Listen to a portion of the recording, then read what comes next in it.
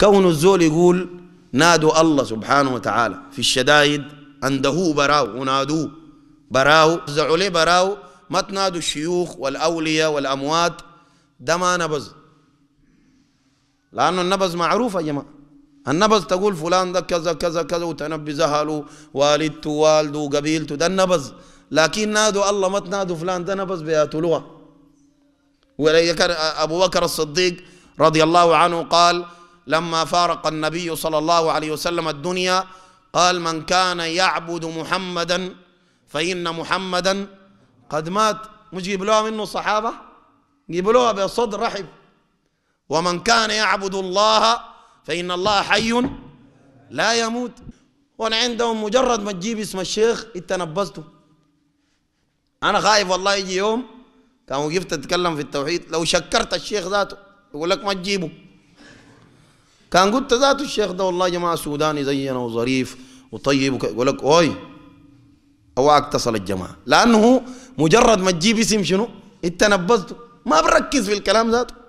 يعني أنت ما قلت لهم فلان ده في النار. ما حكمت عليه عينا.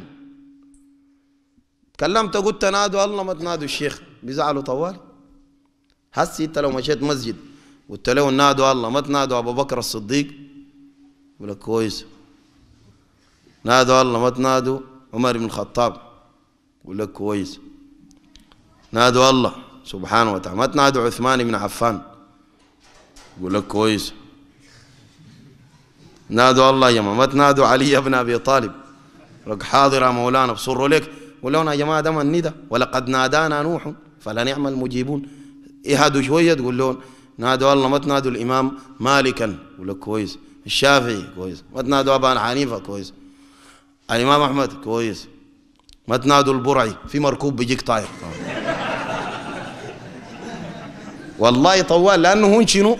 خدته في راسه انه ده نبز طوال. ولذلك يا جماعة هذا الموضوع. والله التوحيد ده ما أز أحسن شيء وأظرف شيء ذاته إذا صح التعبير. ما بحسن منه ذاته. راحة للنفوس. شفت لو دار ترتاح بس التوحيد ده. فمن يريد الله أن يهديه يشرح صدر انشراح يشرح صدره للإسلام. ومن يريد أن يضله يجعل صدره ضيقا حرجا كأنما يصعد في السماء.